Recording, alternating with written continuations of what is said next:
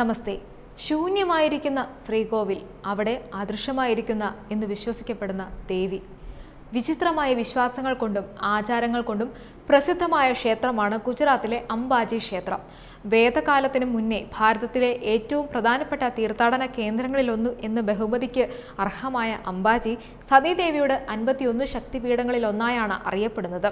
കൊടും കാടുകളാൽ ചുറ്റപ്പെട്ട് കിടക്കുന്നതാണെങ്കിലും അതെല്ലാം താണ്ടി ലോകത്തിന്റെ വിവിധ ഭാഗങ്ങളിൽ നിന്നും വിശ്വാസികൾ എത്തിച്ചേരുന്ന അരസുരി അംബാജി മാതാ ക്ഷേത്രത്തിന്റെ വിശേഷങ്ങളും പ്രത്യേകതകളും നമുക്കൊന്ന് നോക്കാം.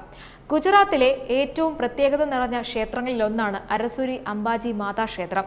ശക്തിദേവിയായ സതീദേവിയുടെ ഹൃദയം പതിച്ചു എന്ന് വിശ്വസിക്കപ്പെടുന്ന ഗുജറാത്തിലാണ് സ്ഥിതി ചെയ്യുന്നതെങ്കിലും ഗുജറാത്തിന്റെയും രാജസ്ഥാന്റെയും അതിർത്തിയിലായാണ് ഈ ക്ഷേത്രമുള്ളത്. ബനാസ്കാന്ത ജില്ലയിലെ ഡാൻഡ താലൂക്കിൽ ഗബ്ബാർ കുന്നിന്റെ മുകളിലാണ് അംബാജി മാതയുടെ പീഠം സ്ഥിതി ചെയ്യുന്നത്. സമുദ്രനിരപ്പിൽ നിന്നും ആയിരത്തി അറുന്നൂറ് അടി ഉയരത്തിലാണ് ഇവിടമുള്ളത്.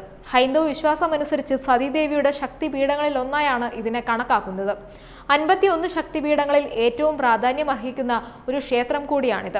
തന്റെ പിതാവിന്റെ അവഗണനയെ തുടർന്ന് പ്രാണത്യാഗം ചെയ്ത സതീദേവിയുമായി ബന്ധപ്പെട്ടതാണ് ശക്തിപീഠം. സതീദേവിയുടെ ആത്മാഹൂതിയെ തുടർന്ന് കുപിതനായ ശിവൻ ദേവിയുടെ ശരീരവും വഹിച്ച് അലഞ്ഞു തിരിയുവാൻ തുടങ്ങി. ഇത് കണ്ട വിഷ്ണു ശിവനെ ഇതിൽ നിന്നും മോചിപ്പിക്കുന്നതിനായി സുദർശന ചക്രം കൊണ്ട് സതിയുടെ ശരീരത്തെ ഖണ്ഡിച്ചു. ശരീരം അൻപത്തിയൊന്ന് ഭാഗങ്ങളായി ഭൂമിയുടെ വിവിധ ഭാഗങ്ങളിൽ പതിച്ചു. ഈ സ്ഥലങ്ങളാണ് ശക്തിപീഠം എന്ന പേരിൽ അറിയപ്പെടുന്നത്. സതീദേവിയുടെ ശരീരഭാഗങ്ങൾ വീണതിൽ ഹൃദയം പതിച്ച ഇടമായാണ് അംബാജി ക്ഷേത്രം അറിയപ്പെടുന്നത്. അതുകൊണ്ട് തന്നെ ഏറ്റവും ശക്തിയേറിയതും പ്രശസ്തവുമായ ശക്തിപീഠം കൂടിയാണ് ഇത്. മറ്റു ക്ഷേത്രങ്ങളിൽ നിന്നും വ്യത്യസ്തമായ കുറേ കാര്യങ്ങൾ ഇവിടെ നമുക്ക് കാണാം. ക്ഷേത്രത്തിലെ ശ്രീകോവിലിൽ പ്രത്യേകിച്ച് വിഗ്രഹങ്ങളൊന്നും പ്രതിഷ്ഠിക്കപ്പെട്ടിട്ടില്ല. പകരം ഒട്ടേറെ പ്രത്യേകതകളുള്ള ശ്രീയന്ത്രമാണത്രേ ഇവിടെ സ്ഥാപിച്ചിരിക്കുന്നത്.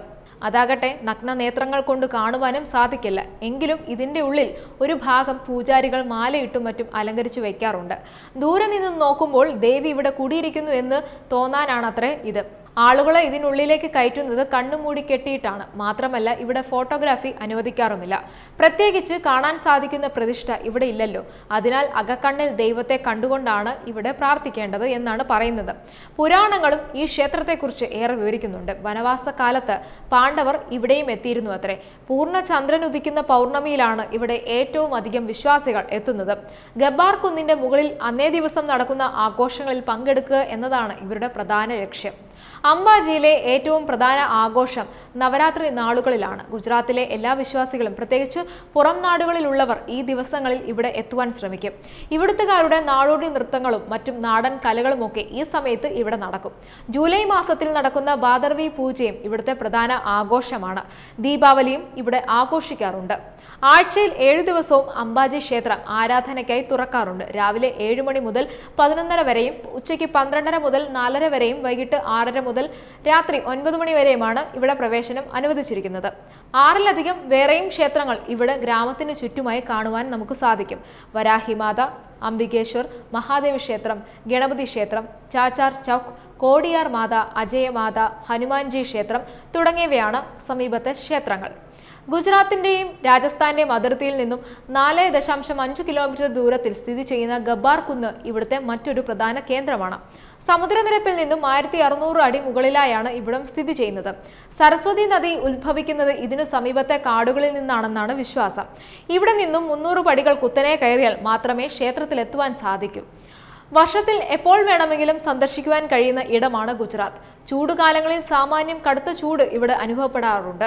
വരണ്ട കാലാവസ്ഥ ഇവിടെ സ്ഥിരമാണ്. യാത്ര എന്ന ലക്ഷ്യത്തിൽ ഗുജറാത്തിൽ എത്തുന്നവർ തണുപ്പുകാലം തിരഞ്ഞെടുക്കുന്നതായിരിക്കും നല്ലത്. അതായത് നവംബർ മുതൽ മാർച്ച് ആദ്യവാരം വരെയാണ് ഇവിടം സന്ദർശിക്കുന്നതിന് യോജിച്ച സമയം. ഗുജറാത്തിലെ മിക്ക സ്ഥലങ്ങളുമായും ബന്ധപ്പെട്ട് കിടക്കുന്ന സ്ഥലമാണ് അംബാജി.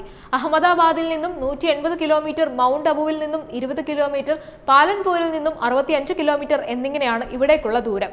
അബു റോഡ് സ്റ്റേഷനാണ് ഏറ്റവും അടുത്തുള്ള റെയിൽവേ സ്റ്റേഷൻ.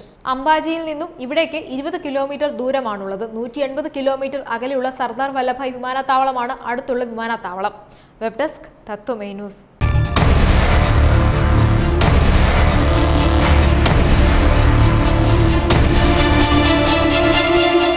കൂടുതൽ വാർത്തകൾക്കും വിവരങ്ങൾക്കുമായി എല്ലാ പ്ലാറ്റ്ഫോമുകളും ലൈക്ക് ചെയ്യുക സബ്സ്ക്രൈബ് ചെയ്യുക.